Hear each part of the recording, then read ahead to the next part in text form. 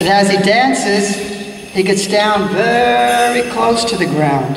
And that's to show that he's trying to hide or conceal himself behind the bushes of the trees. But the most important thing about these warriors was the fact that they were very, very proud people. The tribe looked up to them. They had great honor and respect for the warriors. So whenever they would dance, they would always show in their dance how proud they were to be the protectors of the people. Old style or traditional warriors dance now from Oklahoma.